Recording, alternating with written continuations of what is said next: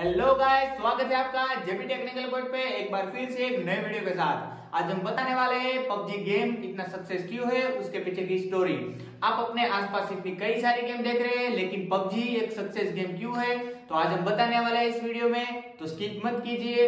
पूरा वीडियो देखिए गाइस तो देर ना करते हुए वीडियो को करते हैं शुरू।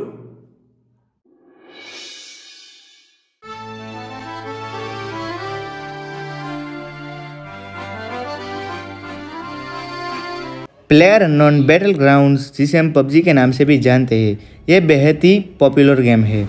इस गेम की शुरुआत हंड्रेड प्लेयर से होती है, जिसे किडनैप कर कर एक रशियन आइलैंड में सर्वाइव करना होता है। प्लेयर्स पैराशूट की मदद से जम करते हैं अपने अपने सर्वाइव के लिए। इस गेम के प्लेयर्स को बाकी के निन्यानवे प्लेयर्स को हराना होता है चिकन डिनर के लिए। चिकन डिनर इस गेम का रिवॉर्ड है।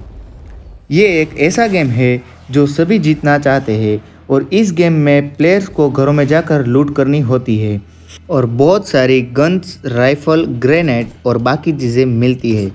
पहले भी हमने इस गेम की जैसी मूवी देखी है, जिसका नाम है हंगर गेम्स और बैटल रॉयल और ये गेम उसी मूवी से इंस्पायर है।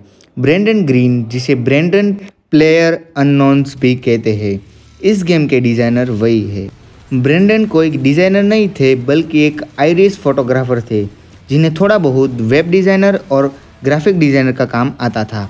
बाद में ब्रेंडन आइलैंड छोड़कर ब्राज़ील चले गए और वहाँ उन्होंने अपनी गर्लफ्रेंड से शादी कर ली और कुछ सालों के लिए वहीं बस गए। दो साल के बाद उनका डिवोर्स हो गया और इस चीज़ से ब्रेंडन काफ़ी डिप्रेस हो गए। डिप्रेशन की वजह से ब्रेंडन फिर से अपना आइलैंड लौट आए और अपने पास टाइम में ब्रेंडन वीडियो गेम्स खेलने लगे। उसमें शामिल थे कॉल ऑफ़ ड्यूटी और एसेसन्स क्रीड आइलैंड में ब्रेंडन ने दो और गेम्स की खोज की, जिसमें शामिल थी आर्मा और डेजेड दोनों ही गेम्स ब्रेंडन को काफ़ी पसंद आए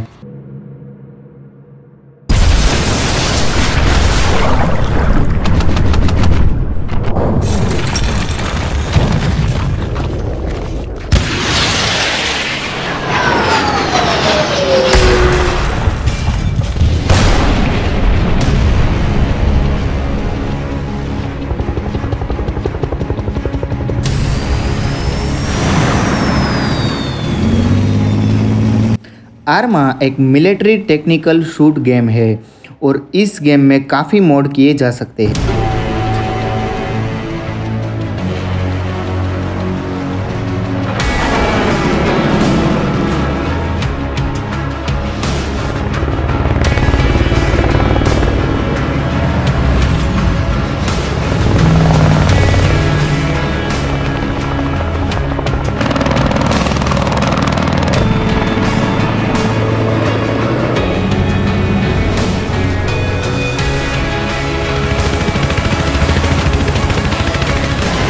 डे जेड आर्मा का ही एक मोड है जिसमें जोम्बिस से लड़ना पड़ता है।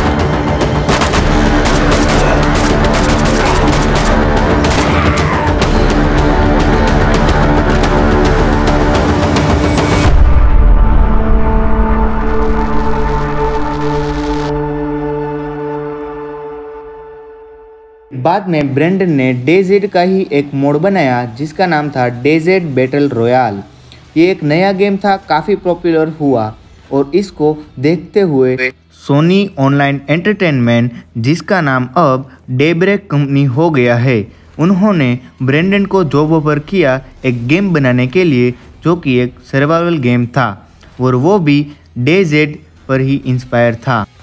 वो नया गेम ब्रेंडन ने जो सोनी टीवी के साथ मिलकर बनाया था, उसका नाम H one Z one King of the Kill था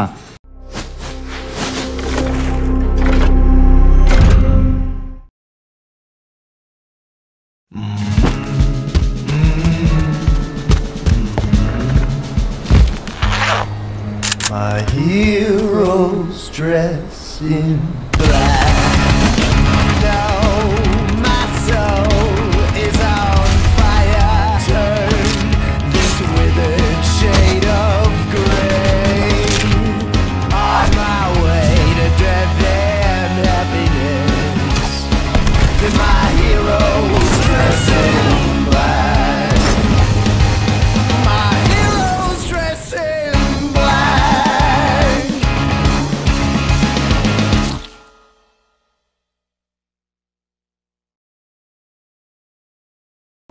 फिर ब्रेंडन डेब्रेक नाम की कंपनी को छोड़ दिया और वो फेब्रुवरी सिक्सटीन को चले आए साउथ कोरिया।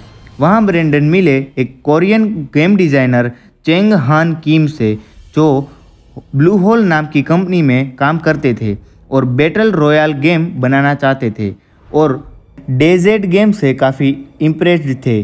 वो कोरियन गेम कंपनी एक ऐसा सर्वाइवल गेम बनाना चाहती थी जो किसी ने आज तक नहीं बनाया हो। उस कंपनी का आइडिया ब्रेंडन को अच्छा लगा और वो सभी लोग गेम बनाने में लग गए। ब्रेंडन की टीम ने दिन रात मेहनत करी और वो चाहते थे कि ये गेम एक साल के अंदर ही बन जाए और साथ ही सस्ते में भी। अर्ली 2016 में गेम बनना शुरू हुआ और उनकी टीम की डेडलाइंस सिर्फ़ एक साल की थी। पहले तो ब्रेंडन की टीम ने एक छोटा सा गेम बनाया, जिसमें एक मैप था, एक मोड था और कुछ वेपन्स थे। धीरे धीरे गेम का डेवलपमेंट बढ़ता गया। और फाइनली मार्च 2017 में गेम बैटल ग्राउंड को रिलीज़ किया अर्ली एक्सेस के रूप में। बैटल ग्राउंड गेम गेमर्स को काफ़ी पसंद आया, क्योंकि ऐसा गेम गेमर्स ने पहले कभी खेला ही नहीं था। और ये पूरा नया कॉन्सेप्ट था। देखते ही देखते पबजी की रैंकिंग बढ़ती गई और ये बहुत सारे गेमर्स जुड़ते गए और ये बेस्ट सिलेक्ट गेम बन गया। जल्दी ही एक करोड़ राउंड्स खेले गए इस गेम के और सिर्फ़ चार मंथ के अंदर 4,1500 करोड़ रुपए कमा लिए ब्लू होल कंपनी ने। अप्रैल होने तक 10 लाख कॉपी बेची गई और अगले दो महीनों में 60 लाख कॉपी बिक गई। पबजी ने कई बड़े बड़े ऑनलाइन गेम्स जैसे कि Dota 2, League of Legends Counter Strike Global Offensive को भी हरा दिया और आज इस गेम के 30 लाख से भी ज़्यादा एक्टिव प्लेयर्स है। शुरू से ही इस गेम का मोटिव था सर्वाइव करना और आज भी बदला नहीं है और आने वाले वर्जन में नए मैप ऐड किए जाएँगे, मगर ब्रेंडन के अनुसार ये ओरिजिनल मैप जिसे पबजी की शुरुआत की है, वो हमेशा ही आइकॉनिक रहेगा। सितंबर 17 को पबजी कॉरपोरेशन की शुरुआत हुई, जो कि ब्लू होल की ही एक सब्सिडरी कंपनी है। इसका ऑफ़िस अमेरिका में खोला गया आने वाले समय में यूरोप और जापान में भी ऑफ़िस खोले जाएँगे। दिसंबर 20 को। गेम फॉर रिलीज़ हुआ पीसी और एक्सबॉक्स पे और एक नया मैप भी ऐड किया गया है पीसी वर्जन में जो कि एक डेजर्ट मैप है।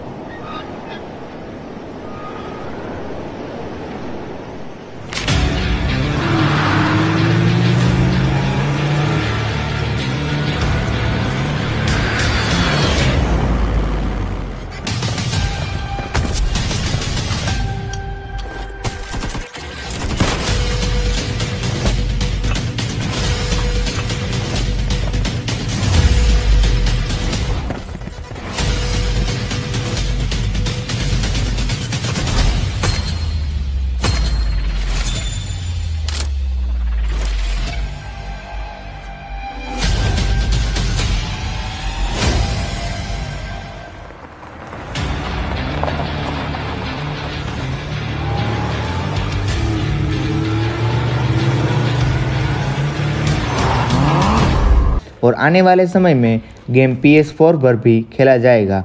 मार्च 15 को एंड्रॉयड में गेम का डेटा प्रोग्राम रिलीज़ किया और मार्च 16 को iOS डिवाइस में और फाइनली मार्च 19 को ऑफिशियली इंटरनेशनल मार्केट में रिलीज़ किया।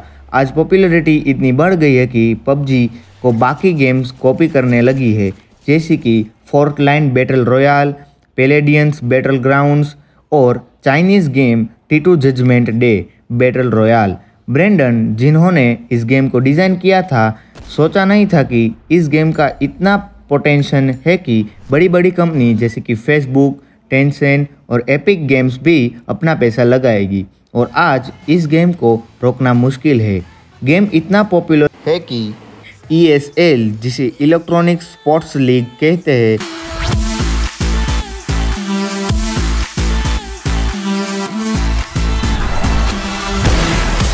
It in mind, and now Sir Calvin 2 is suddenly stripped this man advantage away, and he's just continuing to put the test of time, and this thing's not going anywhere! My word!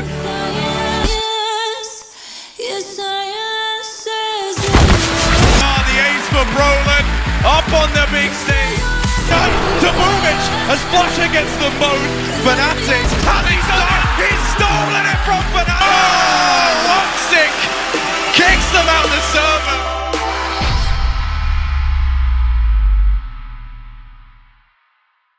वो करोड़ों रुपए की championship tournament खिलाता है। यहाँ पे दुनिया के एक से बढ़कर एक गेमर्स आते हैं और एक दूसरे से कंपेन करते हैं।